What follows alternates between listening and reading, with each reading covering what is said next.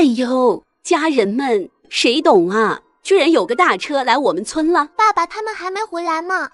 估计在水塘里呢，没那么快的。家里忙的事情还多。那我去找爸爸，我要去捡田螺。哎，虽然卖田螺的钱盼盼没摸到，但是他知道卖田螺卖了很多钱呢。他想力所能及的去帮忙。捡什么啊？刚回来不热啊？休息一下吧。妈妈，我不累。好，去吧，去吧，都去吧。我等会也去。盼盼就跟着几个哥哥一起往水塘走去，而杨洋也提了一个水桶。爸爸，家里有好多好吃的东西。哦，什么好吃的东西啊？盼盼赶紧把中午吃过的那些好吃的东西透露给爸爸听。你们去哪里吃的？怎么有这些东西？是周叔叔给我们吃的。哪个周叔叔？正在这时，刘月走了过来。就之前跟你说的那个，我和盼盼遇上的周兄弟。你们又遇上了？是啊。至于具体的细节，刘月看陈忠在忙，也就没有给他讲。晚上，夫妻俩准备休息的时候，陈忠才仔细的询问妻子中午发生的事情。刘月说了一些后，也宽慰着丈夫别生气。他们和家欺人太甚，下次让我见到何峰，我非把他打一顿。他们已经有人收拾了。谁能收拾他们？他们那么泼横。就那周兄弟，你知道吗？这周兄弟居然比那制衣厂的厂长的官还大呢，连那厂长都要恭恭敬敬的。张局他男人在周兄弟面前什么也不是。周兄弟看盼盼被他们欺负了，可生气了。本来何峰也要去吃饭的，结果周兄弟不让他吃了。哦，就这样，活该！谁让他们欺负人呢？以前欺负咱们不知道，也就没办法管。可现在还想来欺负咱们盼盼，是不是觉得咱们好欺负？可不是嘛？我虽然不知道具体的，但我感觉这何峰这大官啊，可能要丢。不管怎么说，也算给他们个教训了。毕竟这些事情也不是咱们能插手的。要是让我见到何峰，我一定打他一顿就是了。我也要把张局打一顿。你还是别打太狠了。陈忠，你说什么呢？说你媳妇够泼是吧？没有，没有。第二天，村口一辆轿车缓缓开了过来。哎呦，家人们，谁懂啊？居然有个大车来我们村了。这什么人呐？咱们村啥时候有这样的大车？而就在大家疑惑好奇的时候，车子停了下来。见周阳服装穿得像城里人，很快一位老大叔就小心翼翼地靠近了些。小伙子，你找谁呀？大叔，这附近是叫明河村吧？大叔点点头，又有些不置信地看着面前的男人。这里是不是有户人家男人叫陈忠的？我找他们家。哦，你找阿忠啊？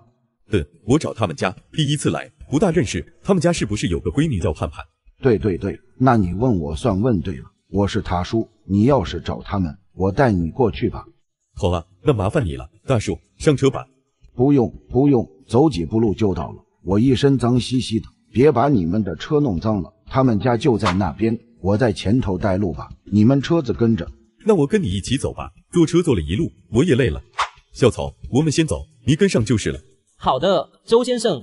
走了一段路，两人就到了城中家院门口了。小轿车也缓缓跟随，停在了城中家院门前那块空地上。这就是阿忠他们家了，门关着呢，好像是不在家。他们家最近承包了两个鱼塘，应该都是在忙鱼塘的事情吧？要不你去我家里歇歇，喝口茶，我去鱼塘那边叫他们的人回来。说不用叫了，正好我也想转转，我跟你一起吧。大雁叔本来是不想让客人累着了，可周阳表示想去转转，也不好拒绝。周叔叔，叔公，嗯，知道周叔叔要找爸爸妈妈，盼盼赶紧给周阳带路。爸爸妈妈，周叔叔来了，是周兄弟。陈忠一听就知道对方是最近媳妇和孩子讨论频率最高的那个周阳，赶紧从水塘往岸边走。周兄弟，你怎么来了？嫂子好，我这两天闲着，正好想着来这边看看你们。不过到你家说是没人在家，这位大叔就带我过来这里的。差人说一声，我们回去就行了。这天儿那么热闹，你又走不习惯这田路的，万一摔了就不好了。没事没事，我家原先也是农村出来的，只是现在条件好些，没种田而已。小时候都走习惯了。这是周阳兄弟，我之前跟你说过的。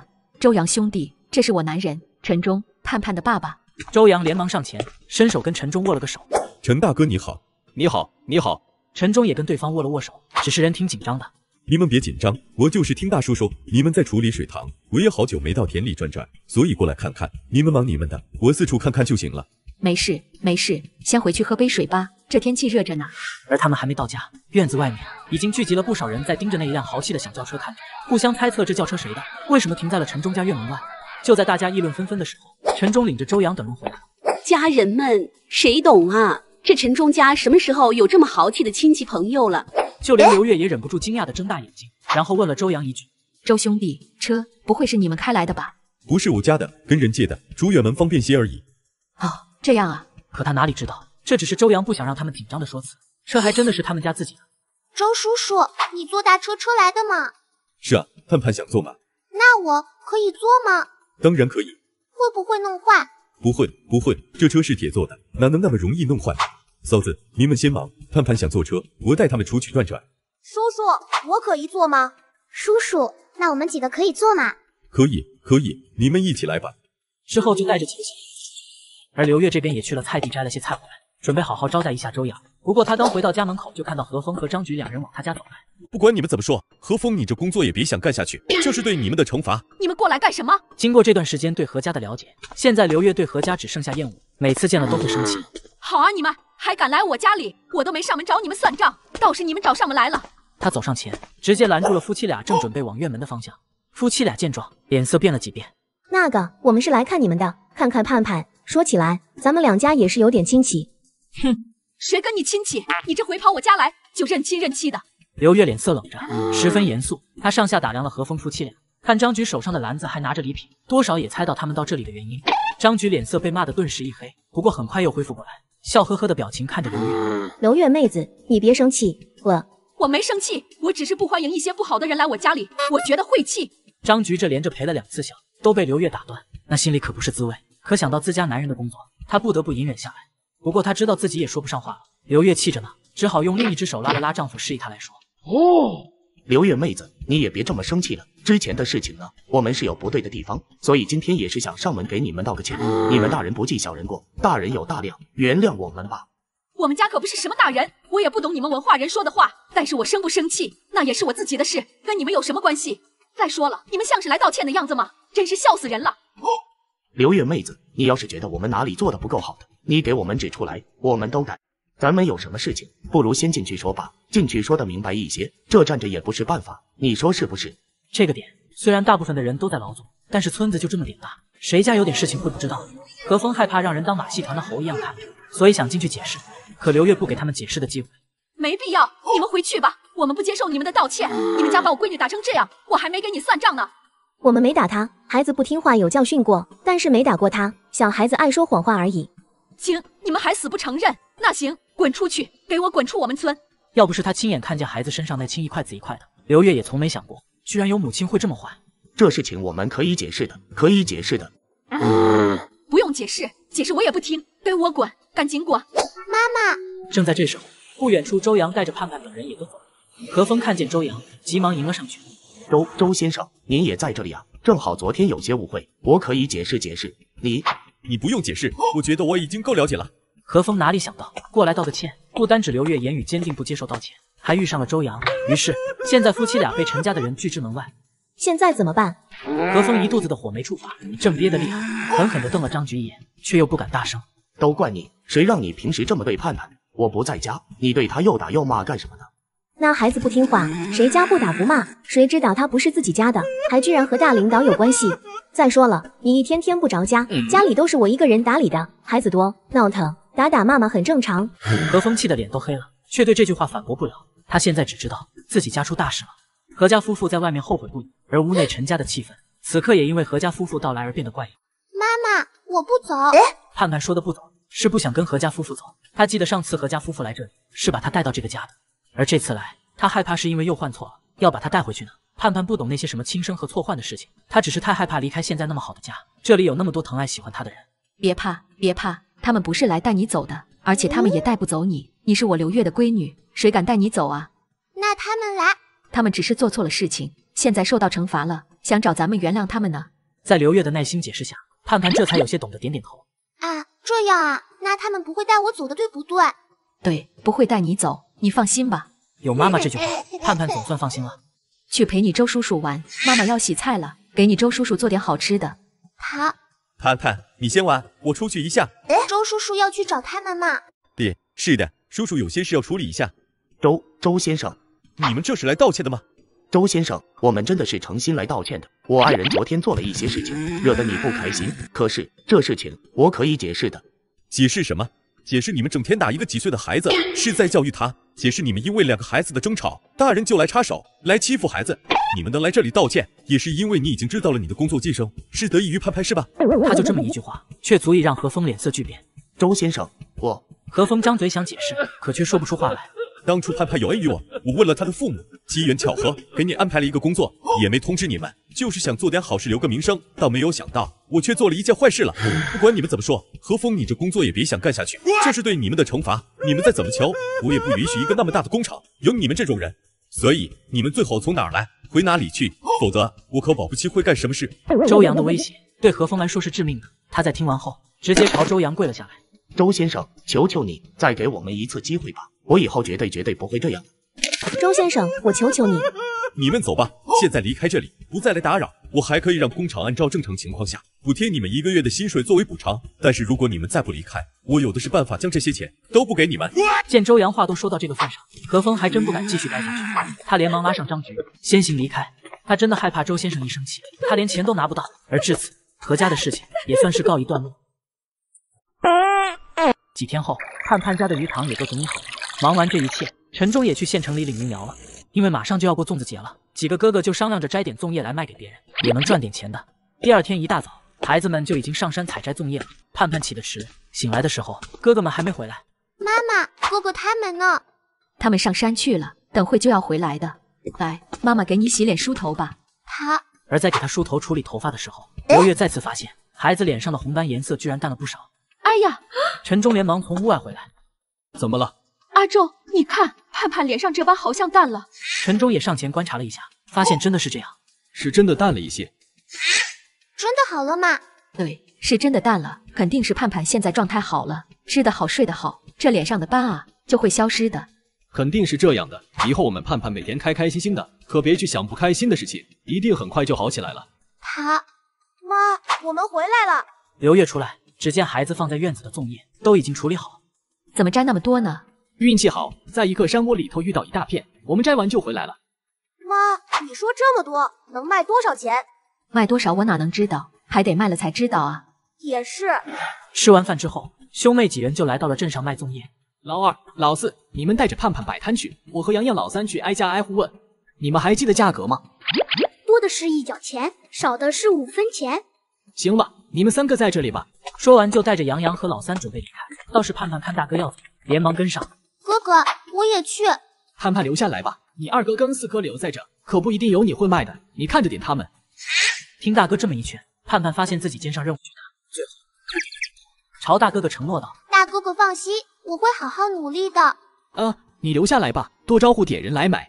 他陈松本就是一句劝说的话，不想让他去跑，并没有想着盼盼能起到多大作用。可他哪里想到，他这前脚一走，盼盼就看见一个大叔。叔叔，你要买粽叶吗？马上要吃粽子了，你家做粽子吗？嗯，你卖粽叶啊？男人大概没想到，这么点大的孩子，口齿伶俐，还会叫卖，倒是奇特的很。我哥哥今天才摘的，你要买吗？我们的粽叶可好了。我看看。男人上前，盼盼的二哥、四哥这才反应过来。嗯，你看看，看需要多少？你们早上刚摘的吗？嗯，刚摘的，都是新鲜的，而且这叶子很大。行吧，买点。这粽叶什么价格？大捆的我们卖一角钱，小的五分钱。你要多少？那就来一捆大，一捆小的。大的跟小的加起来一毛五。男人接了过来，看着粽叶还是不错的。倒是老四看男人准备起身走，连忙又问：“大叔，你还要多买点吗？”我家没几口人，买那么多用不完。可以给亲戚、给其他人买的。我们的粽叶特别好，你买了不吃亏，不上当的。大叔，再买点吧，我们可以给你多送点。行行，再买几捆，正好路过我弟弟家，给他们也买点吧。随后，大叔又买了两捆大的，倒是孩子们说了送，又给大叔送了捆小的。于是这么一来，他们也算是开张了。第一个顾客就卖出了三毛五。随后，几个小孩又如法炮制，见人就问要不要粽叶。不过有人被提醒买了粽叶，也有人特别不耐烦，嫌弃的眼神看着他们。走开，走开！哪里来的孩子，脸上长的是什么东西？面对别人特别恶意的态度，盼盼脸上的笑容消失了。他站在原地，一只手捂着自己的红斑，特别的沮丧。盼盼，哥哥的呼唤把盼盼从出神拉了回来。盼盼看着四哥哥，四哥哥是不是不开心了？盼盼连忙摇头，然后朝哥哥挤出笑容。没有，还不承认呢。别人要是说你不好的，你也别当回事。爷爷说这个世界有坏人的，坏人的话本身就是错的话，错的话我们就不要听，就当他们是放屁。就像这样，屁放走了就没了，抓都抓不住的。盼盼本来认真听着的，听到哥哥模仿放屁声音的时候，扑哧一声笑了起来。屁是坏的，是臭的，大家都要把它放掉。所以你会听屁说话吗？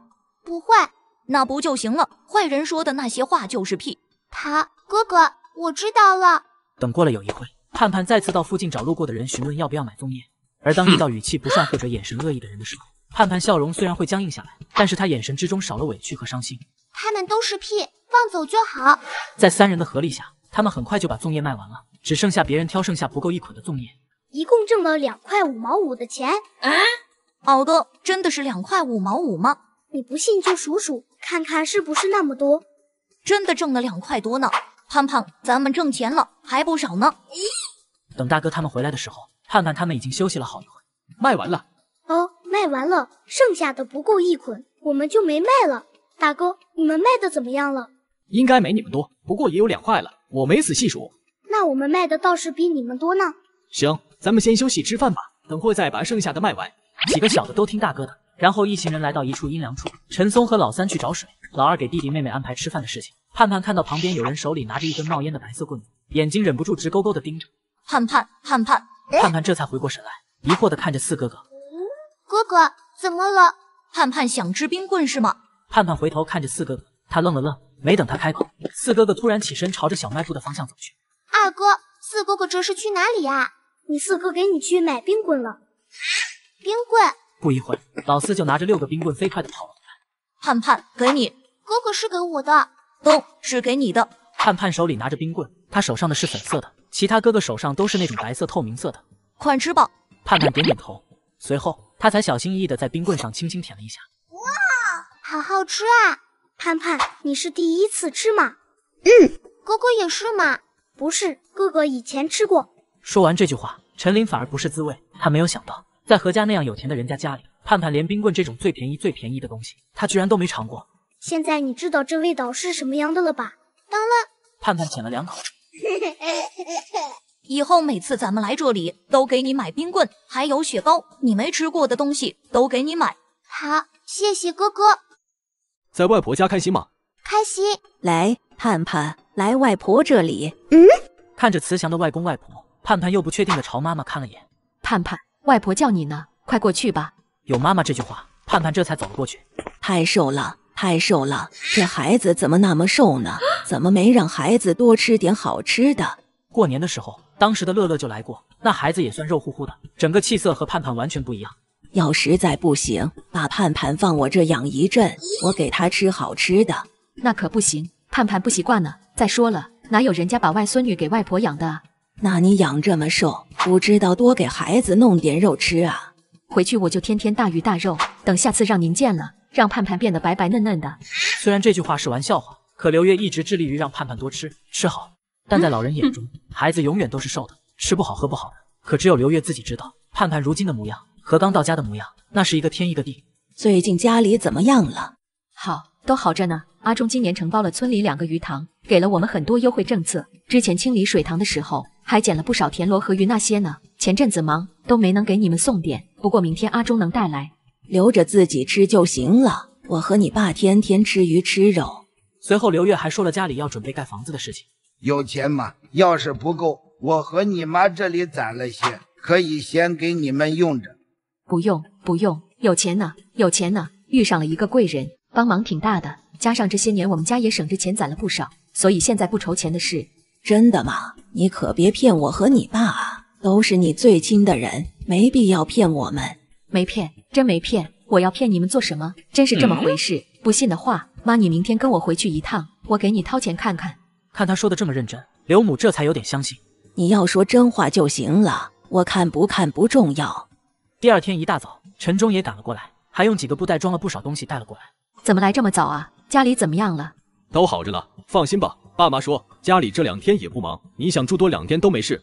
那哪能一直住着？今天端午，中午吃了饭就回去吧。你公婆肯定也希望一家人一起吃顿团圆饭的。啊，没事，家里天天一起吃团圆饭，不差这一天。刘月没说话，丈夫和他爸的话都是为了对方好，当然她也知道公婆不会在意这些。倒是他爸心里肯定也思念他这个闺女，只是嘴上不能这么留他。家里什么都有，怎么拿那么多东西啊？都留着给孩子吃，给你爸妈吃就是了。等刘母出来的时候，也是一脸心疼，说陈忠拿太多了，不过心疼归心疼，看女婿对两老这么孝顺，老人也是高兴的。自家闺女没选错人。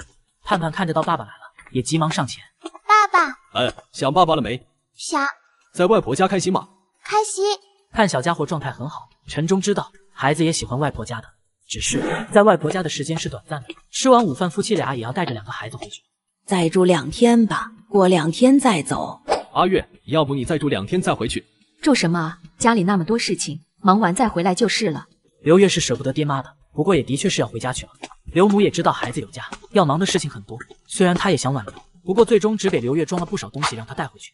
不用不用，家里现在什么都有，你拿着，让你拿着就拿着啊，家里又不是没有，我家也有，现在又不是以前了，真不用带回去。我都说了，家里现在遇到贵人了，钱的事情你就不用操心的，有钱有钱什么不能买啊？刘母不信，硬塞在刘月手里，在互相推送的时候，刘月给自己母亲口袋直接塞了钱。等夫妻俩载着小孩和一众东西走远了，刘母回屋掏着口袋，才发现，哎呀，这丫头怎么了？你看看这是个什么事啊？他们都这样，怎么还给给这么多？不行，过两天我得拿回去给他。刘月也没有想到，过了两天，刘母就真的过来了。妈，你怎么来了？怎么我还不能来看看你们啊？不是，我只是前两天刚回去，你怎么这会来了？你没多住两天。我想几个外孙了，来看看不行啊？刘母话里一口一个只是想念孩子过来看看，半个字也没提钱的事。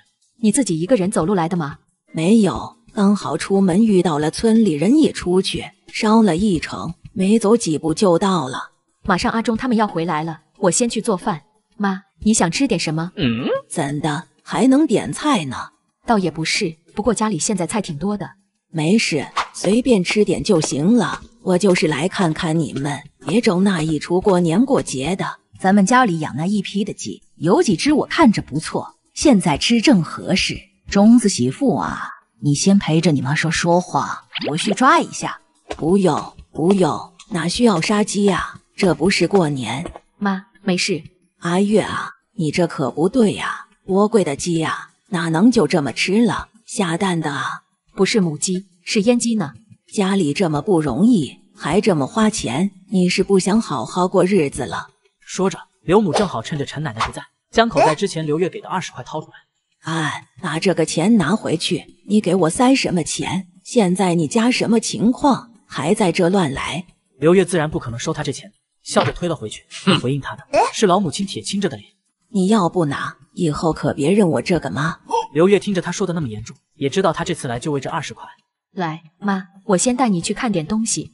好，我倒看看你最近是不是脑子让门夹了，现在都这么乱来。刘月耳边听着老母亲嫌弃的声音，将她往房间里带，随后就拿出来一个铁盒子递给刘母。你这是干什么？拿铁盒子给我干嘛？你打开看看。刘母是一脸好奇又不确定的结果，然后打开。哎呦，哎呦！刘月看着母亲的举动，扑哧一声笑了出来。妈，你看见啥了？蚂蚁搬家蛇过道，明日必有大雨到。里头怎么那么多的钱？妈，你看见了，我没骗你吧？我们现在有钱了。这钱哪里来的啊？你甭管咋来的，反正不偷不抢，我给你看，只是不想让你着急。我又不是那种胡来的人。再说了，阿忠也不是那种人，家里什么情况我们清楚，不会乱来的。给你那钱，也是我们没能在你跟前孝顺，所以只能给你钱。那也不用那么多啊。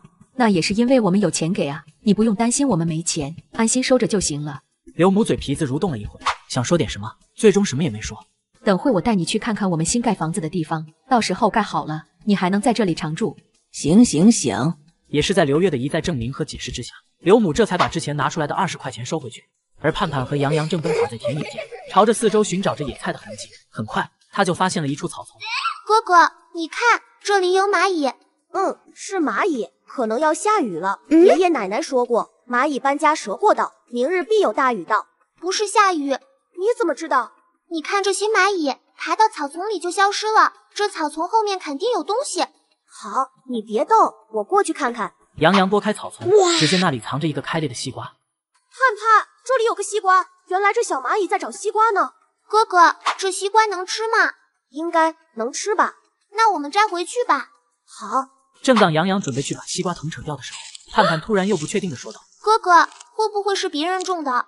不会，这地方没人种东西。再说了，谁家种西瓜那么多草不除呀？估计是谁家吃西瓜掉的籽。那我们摘回去吃。杨洋点点头，抱着这个大西瓜往篮子放去。杨洋放好后，提起篮子，正准备走，可他刚一起身，又突然停了下来。哥哥，怎么了？哎，盼盼，你说这西瓜会不会一条藤上长几个西瓜呀？盼盼想了想，又点点头。会吧，咱们家菜园里的黄瓜就是长好多呢，都是瓜，应该是一样的吧？那咱们再找找，没准还有呢。杨洋说完，放下手上拎着的西瓜，又返回那堆草里，就这么一路往前寻找。杨洋很快发现了一个更大更圆的西瓜。哎呦，又一个！盼盼听到声音，赶紧跟上，的确看到了一个更大的西瓜。啊，好大个！对，好大个！这个也摘回去，那么大个，肯定熟了。好，杨洋毫不犹豫扯了西瓜上的藤，嘴里念叨着：“发财了，发财了，我们有西瓜吃了。”只是开心归开心，这两个西瓜，两人可搬不回去啊。杨洋尚且可以搬一个回去，但是盼盼这么小，提着一篮子的野麦菜够吃力，再搬这个大西瓜基本不可能。这样吧，我回去叫人来，你先在这里看着，好不好？好，那你就在这里抱着这个西瓜，我先把这个带回去。嗯。哥哥走后，盼盼一个人蹲在地上，看着四周，而此时却走过来一个人。你在这干嘛呢？盼盼看到他，整个人突然被吓了一跳，小脸也瞬间吓白。盼盼，你哪来的西瓜？是你摘的吗？盼盼抬头看着他。似乎很紧张，不发一言。怎么你不说话，我就不知道是你摘的了？你知道这西瓜谁的吗？哥哥说了，这是自己长的。你说你哥哥说的，你哥哥知道个屁！这是我的西瓜，我种在这儿的，我好不容易种大了，你把我的给偷了。来，把西瓜给我。不可以。他当然知道这西瓜不可能是赖子的，毕竟他虽然小，但是也知道赖子是个什么样的人。他这种人怎么可能种西瓜呢？还种在这堆草丛里头？你可要想好啊！你不给我。那就是小偷偷我的西瓜，才不是！盼盼不是偷的，是盼盼捡的，才不是你的西瓜。盼盼双手紧护着怀里的西瓜，那么大的西瓜，他得保护好。等哥哥把妈妈叫来，哎，我再给你机会，你别给脸不要脸啊！盼盼听不懂他的意思，但是知道这人在威胁自己。这是我的，不是你的。赖子也被这小孩给气到了，他也不想和对方多废话，直接上前准备把西瓜抢走。你这是干什么呢？听到声音的两人都是一愣，朝声源看去。当看到走来的人是那么的熟悉，盼盼仿佛找到救命稻草一般。周叔叔，帮帮我，帮帮我！赖子刚想着这人看着陌生不认识，准备让他别多管闲事，结果听盼盼这么一喊，顿时不得劲了。你在干什么？盼盼，你没事吧？他有没有伤害你？你谁呀？我是盼盼的叔，我跟他玩呢。我怎么没在村里见过你？周叔叔，他想抢我的西瓜，他不是我叔叔。听到了吗？小孩子撒谎而已。再说了，我是这村里的人，我比你知道盼盼。倒是你，你是哪里来的外人？别以为用点肮脏的手段就想把孩子给骗走。盼盼，你可别让坏人骗走了，到时候哭还来不及。周叔叔是好人，你才是坏人。周叔叔，你快救救我！周阳赶紧上前，这回直接护在盼盼身旁。别怕，叔叔在，不会有人伤害你的。盼盼，我可告诉你。这西瓜是我种的，你赶紧交出来，别到时候闹僵不好看。周阳听了，又看向盼盼，盼盼冲他摇摇头，小脸上写满委屈。而也就在这时，离开的杨洋带着妈妈过来了。杨洋人还没到，声音就传了过来：“盼盼，我带妈妈来了。”杨洋这声音响起，顿时让刚才还气焰嚣张的赖子有些慌张。对着周阳和盼盼，赖子还能说两句无赖话，但是如果遇上盼盼的父母，赖子讨不了什么好的。见势头不对，就急匆匆离开了。刘月走过来，看到周阳也在。看看周阳，又看向离去的赖子，觉得很是奇怪。周阳兄弟，你怎么来了？刚好路过，进来看看你们。嫂子不欢迎我吗？不是，不是，哪能不欢迎啊？上次都没能好好感谢你呢。我只是没想到在这里看到你。幸好我来了，不然盼盼西瓜都没了。听到周阳这么一说，刘月显然愣了一下。周阳兄弟，你这话是怎么一回事啊？刚才那男人，嫂子认识吗？认识，认识。我们村里的人好吃懒做，整一个地痞流氓。可当周阳告诉他那个叫赖子的人想抢夺盼盼西瓜的时候，刘月整个人就像炸雷，火冒三丈。这死人赖子连个孩子都要欺负，真不要脸！怪不得见了我就跑。妈妈，刚才赖子说这西瓜是他种的，说我偷他的西瓜要拿回去，我不给，他想抢西瓜。周叔叔来了，他才抢不到。妈妈，我没怕他，他说西瓜是他的，我说不是，我还抱着不让他动。我们盼盼很勇敢，很厉害。没让那糟心东西欺负了。不过下次遇到这种事情，如果那人要欺负你，你就大声喊人，或者赶紧跑，可别光护着个西瓜啊！好，那我也要做周叔叔的干闺女。回到家里，周阳在和陈忠说话，三个老人也坐边上，时不时说上两句，气氛很好。而刘月则把切好的西瓜拿到堂屋去。来来来，吃西瓜了。这西瓜看着很甜呢。这是咱们盼盼摘回来的西瓜吗？对，就是这个。那里还有一个呢，这个是洋洋带回来的，比较小的，裂了个口。刘月一边说，一边给周阳送上。周郎兄弟，来尝尝西瓜。谢谢嫂子。周兄弟，还有呢，多吃点，别见外，把这里当自家就行了。妥妥，嫂子，我没见外。周阳的确很喜欢陈家一家，热情好客，善良感恩。午饭过后，陈忠和老父亲陪着周阳说话，刘母和陈奶奶则去帮忙洗碗，盼盼就在旁边玩。忠哥，以后也别周兄弟周兄弟的叫我了，叫我阿阳吧，我比你小，叫你一声大哥，不过分吧？不过分，不过分，我只是不知道怎么称呼你才好，叫你周兄弟显得亲切。妥，以后就叫我阿阳吧，叫周兄弟也显得见外了点。周阳说着，朝盼盼看了眼。我跟盼盼投缘，虽然我不是他亲叔叔，但是把他当亲侄女看待，你也别跟我见外就是了。行，那就叫你阿阳吧。而这一声称呼也的确拉近了双方的关系。陈忠也从交谈间感觉周阳虽然是有钱人家，但是一点架子都没有，心里的紧张感也消除了不少。两人也很快说到建房子的事情上。房子的事情你们有什么打算？砖瓦那些都定好了吗？要是没定好，我刚好有认识的人给你们介绍介绍。听到这话，陈忠愣了一下，他不可置信的看着周阳，大概没想到他说这话这么轻松。我军认识有不少朋友在这行业上的，还有水泥玻璃那些，你要需要的话，我帮你联系，不碍事的，很简单的一件事。陈忠不敢马上应答，他想和刘月商量一下。忠哥，刚才还一口叫我一个弟，这回怎么又跟我见外了？这点事情我能帮得上忙，你都不让我帮忙吗？总不能让我求你吧？使不得，使不得，是我觉得麻烦你了，这么大一件事了，那你就是答应了。行了，我答应，谢谢阿阳，我都不知道该怎么感谢你了。院内，陈忠正在准备着不少东西往一起放。忠哥，你们装那么多东西去哪里呀？这是给你带回去的。你每次来拿那么多东西，又帮了我们那么大的忙。农村也没什么好东西，都是自家地里摘的，山里捡的，不是什么值钱东西，你别嫌弃就好。忠哥，不用不用，我家什么都有，这些东西你们留着吧。盼盼还小，正好让他好好补补。没事，家里有很多。嗯，好好好，你给吧，不用太多就是了。我家人少，吃不完的。对了，忠哥，盼盼实在可爱的很，要不给我带回家当几天闺女吧？你要就带去吧，难得你那么喜欢我们家盼盼。周阳和妻子没有孩子，因为妻子早年身体亏虚了，这几年一直在调理。忠哥，盼盼这么乖的孩子，这辈子我是没福气享受这样的亲闺女了。不过我可以认她当干女儿的。陈忠显然吓得不轻，刚才周阳那番话，陈忠只当是玩笑话，没曾想周阳还真在考虑这个事情。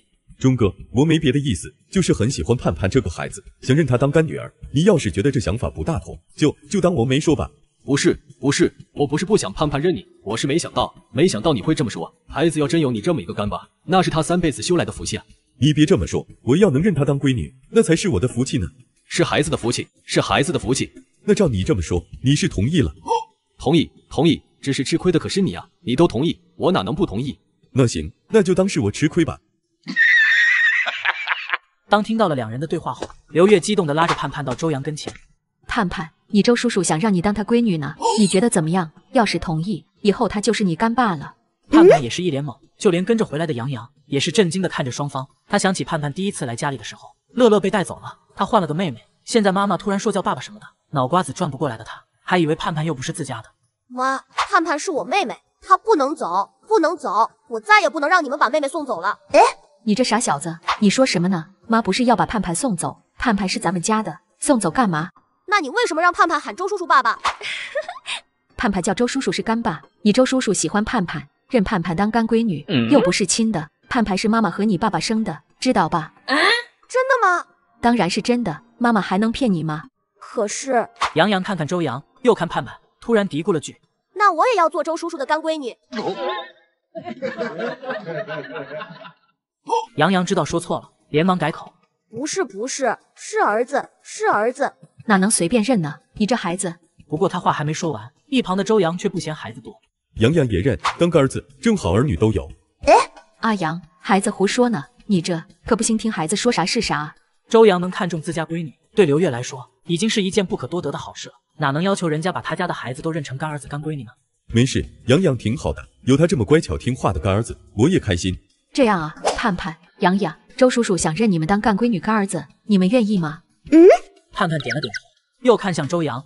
周叔叔要认我吗？当然。那盼盼也想认周叔叔。其实盼盼也搞不明白这认干爸的意思，不过他清楚的是，以后就可以喊周爸爸，这样和周叔叔关系就更好了。至于杨洋，看盼盼有干爸，又怕盼盼是要被抢走，毫不犹豫答应着。钟哥，家里有红包袋吗？就随便认认，红包就不用了吧？那不行，我来这一趟什么都没准备，你就去帮我找两个红包袋子吧。我给孩子弄个认亲红包，毕竟是大事，不能马虎了。这好吧，我去找一下。以后这周叔叔就是你们的干爸了，你们对周叔叔的态度要跟对爸爸妈妈一样，要尊敬他，爱戴他，知道了吧？好，我会对周叔叔好的。刘月将倒好的茶水递给盼盼，来，去给你周叔叔敬茶。要说干爸，请喝茶，知道了吗？好。盼盼接过妈妈递来的杯子，朝着周阳缓缓走去。干爸，请喝茶。嗯，好好好，干爸喝。随后，周阳把杯子放下，从口袋掏出一个红包，来，这个你收着。谢谢周叔叔。是周爸爸。周爸爸。吞。随后，杨洋也递上同样的茶水。干爸，请喝茶。同样，周阳给了一个红包。谢谢干爸。哥哥，你看，他好像笑了。周阳离开后，一直好奇红包的杨洋忍不住要拆袋子。盼盼在一旁盯着哥哥的，他自己的还没拆。杨洋，你在拆你干爸给你的红包吗？杨洋激动的点了点头，连忙拿着袋子里的钱朝妈妈示意。妈，你看这么多，是十块钱，怪不得那么鼓呢。哎，刘月也被吓到了，他又朝盼盼手上的红包看去，而当打开盼盼的红包，里头也一样是十块。哇，这么多，这周洋兄弟也太大方了。不过惊叹归惊叹，这钱既然是给孩子的，那就是孩子的，这也证明是周洋兄弟对两个孩子的重视。第二天一大早，盼盼醒来的时候，爸爸和外婆都已经走了。爸爸呢？爸爸去送外婆了，还说要去周爸爸家。我还想让爸爸带上我，他不让我去，因为你爸是去忙正事，不是去玩的。家里的房子既然定好了位置，那盖房子的事情也要赶上日程了。刘月希望今年过年就能住上大房子，所以也希望房子赶紧盖上。行了，盼盼，先吃早饭吧。吃完饭，妈妈带你们去山上。他。之后，刘月和陈奶奶就去山上割草了。盼盼和杨洋跟在他们的后头。盼盼一如既往的带着小男子，杨洋则背着属于他的小背篓。抵达割草的地方，刘月和婆婆就开始忙活起来。杨洋看了一会后，就觉得没什么意思。走，盼盼，咱们去采蘑菇吧。啊，好。盼盼，你说咱们这次能不能发现大蘑菇？啊，会的。而比起大蘑菇，盼盼其实更想遇到大西瓜。他运气好，走了没多远，就遇到了鸡宗姑、三丛的鸡宗兄妹俩，很快采。盼盼，我们走，咱们去花生地里找，那里肯定有西瓜。好。而就在杨洋准备带着盼盼去花生地的时候，意外的一幕发生了。哎，一道声音从不远处传来，像是什么东西在疼痛的叫。盼盼耳朵尖，立马停下脚步。哥哥，你听到什么了吗？嗯，没有。怎么了？我好像听到有什么声音在叫。什么声音？就在杨洋说话的时候，这声音就突然消失了。不过很快的，又听到了嗷呜嗷呜叫着的声音。嗯，这次不单只盼盼听到了，杨洋也听到了。哥哥，你听到了吗？听到了，感觉这声音好像是狗叫，又不太像。杨洋正看着声音的方向，犹豫着要不要过去看看。不过没等他想好，盼盼脚步却往那边挪去。盼盼，你别去，听说狼和狗很像的，万一不是狗，是狼，我们就要被它咬了。可盼盼却看着那哀叫的方向，有些不忍。可是哥哥，它叫的好伤心，好像很疼。如果是受伤的小动物，我们可以救它。杨洋听着那揪心的声音，也有些心疼。他也喜欢猫猫狗狗，要是救起来也是挺好的。那哥哥先过去看一眼，要是没事，你再跟过来。杨洋说着，拿起一根棍子。我跟着哥哥。杨洋想着两个人总比一个人好，便点了点头。不过让盼盼跟在自己身后，然后朝着那哀叫的方向走去。而当他们靠近草丛之后，杨洋用棍子掀开那草丛后，里头突然露出一只小狗。是小狗狗，小狗狗别怕，小狗狗你别害怕，快来救救本旺，本旺会感谢你们的。大概是盼盼很温柔，又或者小狗狗叫了很久，已经没力气了，所以小狗狗的哀叫声逐渐停下来。哥哥，你看它受伤了。杨洋连忙上前，的确发现了小狗狗受伤的后脚。啊！小狗狗，你别怕，我不会伤害你的，你别怕哦。盼盼，咱们先把它抱出来，看看伤的重不重。好，那我抱它出来。小狗狗，我把你抱出来，你别咬我。放心吧，本旺不会咬你的。他好像听得懂你说话呢。等小狗狗被他们抱出来，两人才发现这小狗狗的后腿伤的还是比较严重的。它腿在流血呢，要止血的，不止血要流死的。那哥哥，我们给它止血，可是要怎么止血啊？有一种草药可以止血的，咱们家灶台上面就有。那那我们赶紧回家吧。好。到家之后，盼盼小心的把小狗放在桌子上，以便观察它的伤势。这边杨洋也赶紧拿来了止血草。盼盼，来，快用这个给它止血。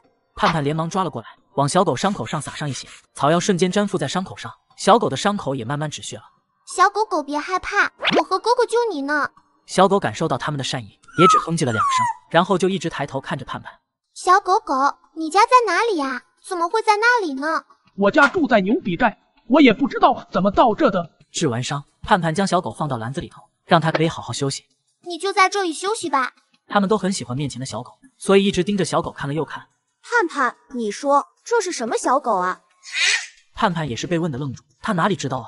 我听说狗有很多种类型的，有大狗，有小狗，有些狗白色，有黑色的。这个是什么狗？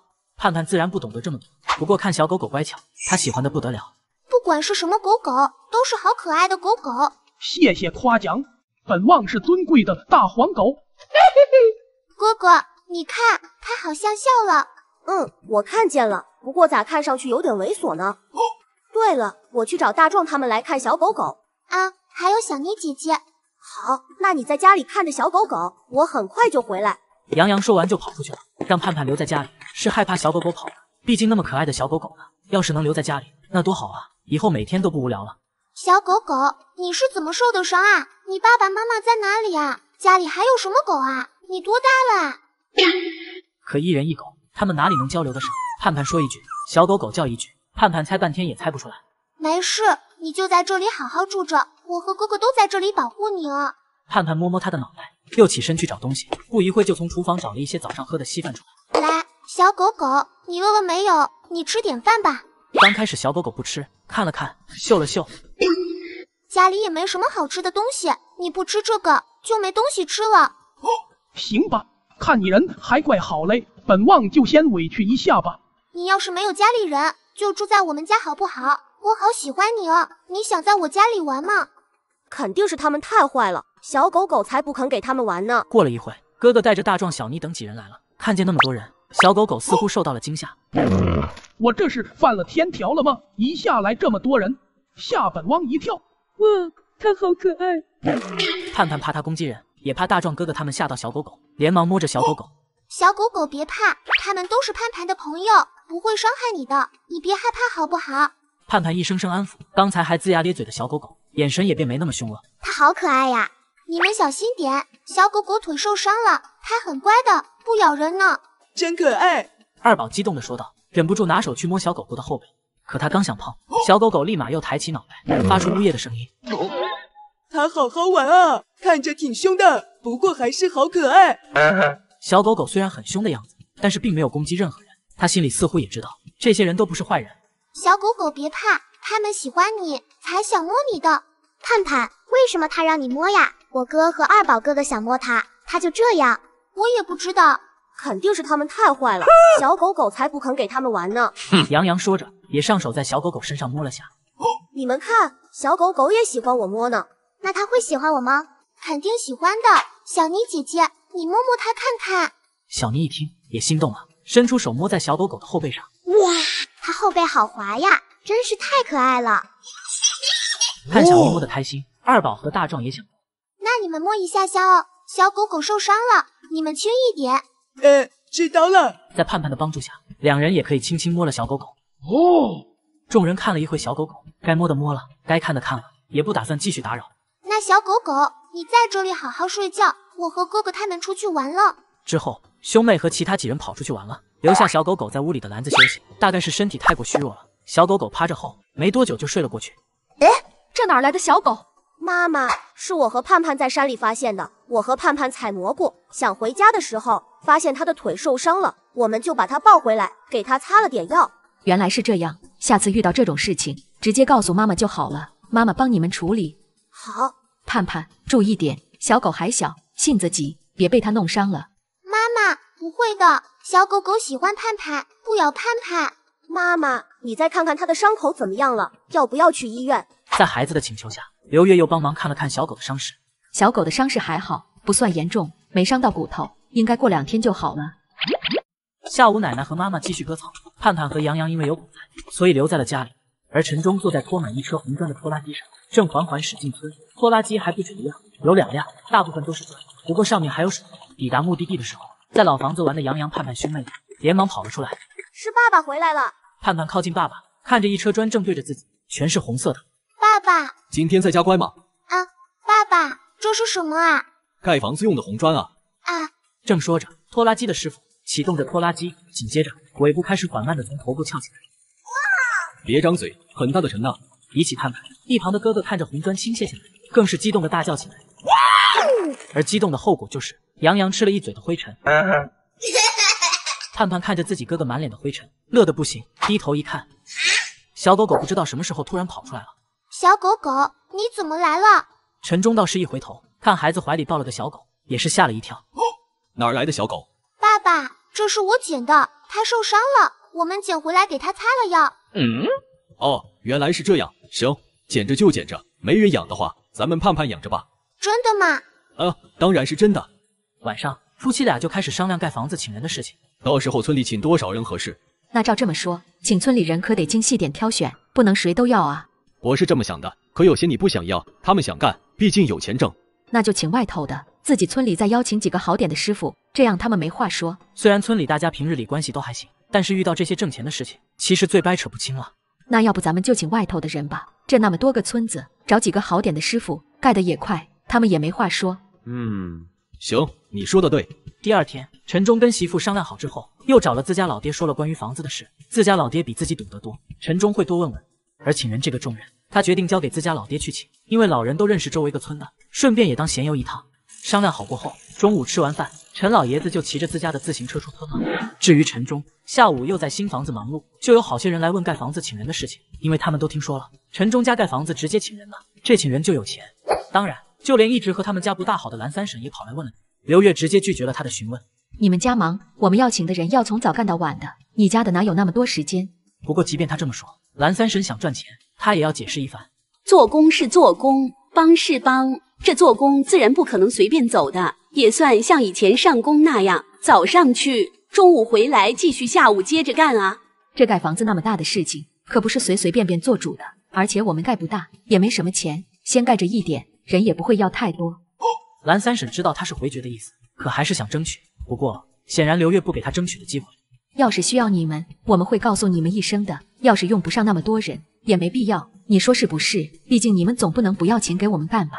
刘月话说到这份上了，蓝三婶还想说什么？刘月也不打算和他继续掰扯。过了两天，人齐了，天气也不错，陈忠家盖房算是正式开始了。